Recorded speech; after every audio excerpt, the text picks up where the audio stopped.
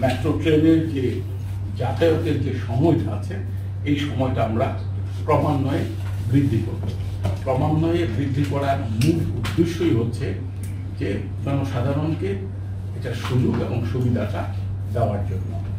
আমরা যারা stake holder মূলত যারা যাতায়াত করে থাকেন, তাদের সাথে আমরা প্রায়শই কথা বলে থাকি। আমাদের অপারেশন টিম কথা বলে থাকেন, আমাদের প্রজেক্ট টিম কথা বলে থাকেন। আমি ব্যক্তিগতভাবেও কথা বলে থাকি। অনেকের সাথে ট্রেনে আমি যখন যাতায়াত করে, এখানে উপস্থিত আছেন, তাদের সাথে আমাদের দেখা সাক্ষাৎ হয় এইটার প্রেক্ষিতে আমরা একটা নতুন সময়সূচি আমরা ঘোষণা করতে যাচ্ছি। আমাদের নতুন সময়সূচি অনুযায়ী একত্রিশে মে দু হাজার তেইশ তারিখ থেকে সকাল আটটা থেকে রাত্র আটটা পর্যন্ত, উত্তরা উত্তর থেকে আগারগড় পর্যন্ত মেট্রো রেল চলাচল করবে। আমি আবার একটু রিপিট করি যে একত্রিশে মে বুধবার, এটা হবে উত্তরা, উত্তর মেট্রো রেল স্টেশন থেকে আগারগাঁও মেট্রো রেল স্টেশন পর্যন্ত। মেট্রো ট্রেন সকাল আটটা থেকে রাত্রি আটটা পর্যন্ত চলাচল করবে। এখানে একটু কথা আছে, কারণ মেট্রো ট্রেন চলাচলে বিদ্যুতের নয় বিদ্যুৎ বিল বাড়ছে, সেটা যে একটা অতিরিক্ত অর্থ লাগে সেটা আমাদেরকে পরিশোধ করতে হয়।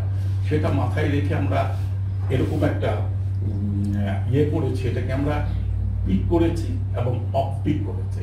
আমাদের সকাল আটটা থেকে সকাল এগারোটা পর্যন্ত এটাকে আমরা বলছি পিক আওয়ার এই পিক আওয়ারের আমাদের হেডওয়ে হবে দশ মিনিট। অর্থাৎ দশ মিনিট পরে পরে আপনার ট্রেন প্রতিটা স্টেশনে উভয় দিকে এসে থামবে। এটা এমনও হতে পারে যে ওই পারে হয়তো পাঁচ মিনিট পরে এর পরে পাঁচ মিনিট পরে, গ্যাপটা দশ মিনিট থাকবে। অর্থাৎ এটা, যেই দিকে আপনি যান, আপনি যদি এই দিকে যান, উত্তরা থেকে আগারগাঁওয়ের দিকে যান, তাহলে দশ মিনিট পর পর ট্রেন আসবে।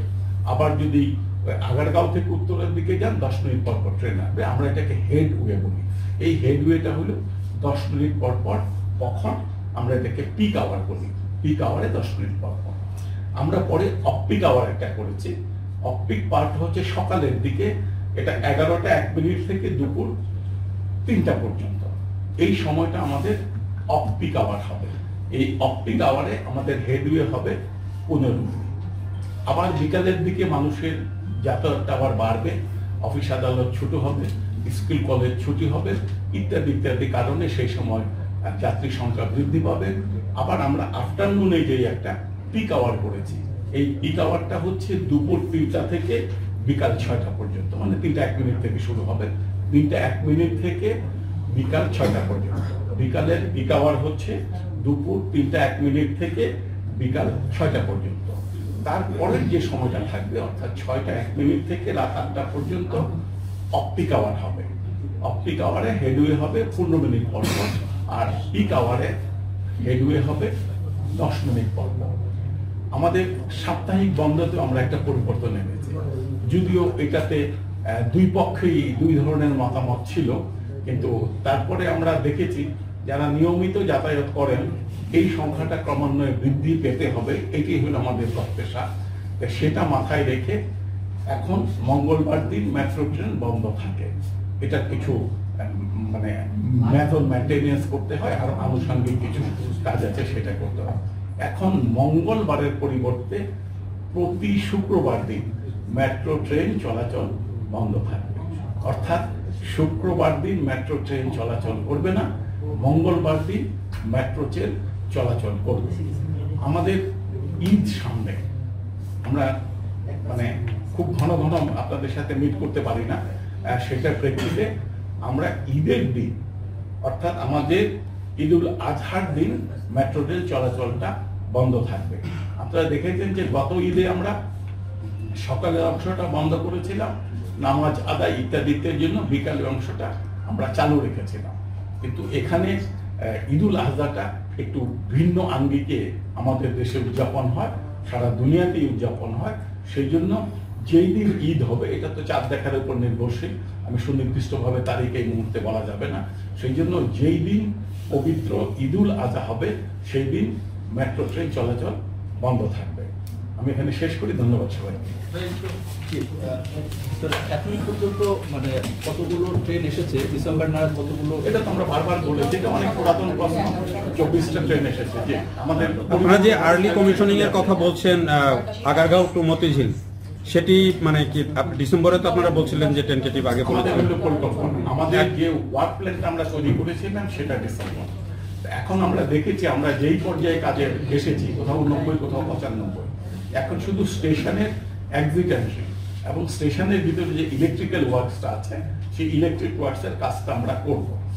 এটা আমরা ট্রেনটা চলাচলের পরে, কারণ আমাদের যেটা বলি, আমরা সিস্টেম ইন্টিগ্রেশন টেস্ট এই জায়গাটাতে যখন আমরা যাব, তখন কিন্তু আমার বুঝতে পারব যে আমার ট্রেনটা চলাচলের সাথে, আমার ওসিসির সাথে শুরু করে, ট্রেনের সাথে শুরু করে, ঘোষণার সাথে শুরু করে, ট্রেনের দরজা খোলার সাথে শুরু করে পিএসডি খোলার সাথে সাথে শুরু করে এএফসি যেটা থাকবে, ওটা টাচ করার সাথে সাথে যে ইনফরমেশনগুলো সব জায়গায় চলে যাওয়া, ইত্যাদি ইত্যাদি আমরা জুলাই মাস থেকে করব। এই জন্য দুই মাস চলার পরে আমরা সুনির্দিষ্টভাবে আর্লি কমিশনের ডেটা ঘোষণা করতে আপনি বলছিলেন যে আর্লি কমিশনিং এর ক্ষেত্রে যদি সব স্টেশন চালু করা সম্ভব না হয় তাহলে অন্যভাবে করবেন। সেটাও আমরা কীভাবে করবেন আসলে? কোন স্টেশনগুলো থাকবে খোলা না এটা কোন স্টেশনগুলো স্টেশনগুলো থাকবে এখনও না। আমার তো সিস্টেম ইন্টিগ্রেশন টেস্টের পরে আমি বুঝতে পারব যে আমার কোন স্টেশনটা পরিপূর্ণভাবে ইন অল রেসপেক্ট প্রস্তুত আছে। যেহেতু এটা ওসিসি থেকে পরিচালিত হয় এবং অটোমেটিক এটিও এটিও মোডে ট্রেনটা চলে থাকে যে স্টেশনগুলোতে এই সিস্টেমগুলো পরিপূর্ণভাবে কার্যকর থাকবে শুধু সেই স্টেশনগুলো আমরা করব তারপর হয়তো দুই তিন মাসের ভিতরে আমরা মানে সেক্ষেত্রে এন্ডিং স্টেশন হিসেবে তো মতিঝিল ঠিক থাকছে নাকি? যে এন্ড স্টেশন মতিঝিল। এটা ঠিক আছে। স্যার মেট্রো রেল হচ্ছে বারোটা পর্যন্ত কোন মাস নাগাদ চালু হতে পারে? যে বারোটা পর্যন্ত মানে পুরো দমে এটা আমরা এটা একটু চালু করি আমরা তো আপনাকে আগে থেকে টার্গেট দিচ্ছি যে জুলাই মাসের ভিতরে আমরা ধরবো। এটা সব নির্ভর করে যে এখানে যাত্রী কীরকম আসতেছে। ঠিক আছে যখন আমরা মতিঝিলের দিকে যাব তখন কিন্তু যাত্রী পর্যাপ্ত হবে। এখন যেহেতু একটা হাফ ওয়েতে হচ্ছে বিআরটিসি এন্ড সার্ভিস দিচ্ছেন তারপর অনেকে অনেকে হয়তো ভাবতেছেন আমি আবার এখান থেকে নেমে বিআরটিসির বাসে যাব। একবারে যদি আমি মতিঝিল চলে যেতে পারতাম সেই জন্য ভালো হইতো। কাজে এটা এই মুহূর্তে বলা যাচ্ছে না কয়েকদিন পরে আমরা আপনাদের কাছে আসব। স্যার এখানে কথা বলছিল তো তখন শোনা যায়নি পঁচিশ সালের মধ্যে কোনটা শেষ হওয়ার কথা বলছিলেন? ও আমি যেটা বলেছি যে আমাদের তো এই তেইশ ডিসেম্বরে হচ্ছে আমরা মতিঝিল পর্যন্ত আমরা যাচ্ছি। আর পঁচিশে জুন মাসে পঁচিশে জুন মাসে আমাদের কমলাপুর পর্যন্ত আমরা চাপ এই লক্ষ্যে আমরা কাজ করছি এই জন্য এটা প্রগ্রেসটা আপনাদের সাথে শেয়ার করেছি। মতিঝিল থেকে কমলাপুরের প্রোগ্রেসটা কি আবার একটু বলবেন? তখন নয়েজের মতিঝিল থেকে কমলাপুরের প্রগ্রেসটা হচ্ছে আমাদের অনেকগুলো কাজ করতে হয়। আমরা এখন একদম প্রাথমিক স্টেজে যতগুলো কাজ ছিল ভূমি অধিগ্রহণ পর্যন্ত তার আগে যতগুলো কাজ ছিল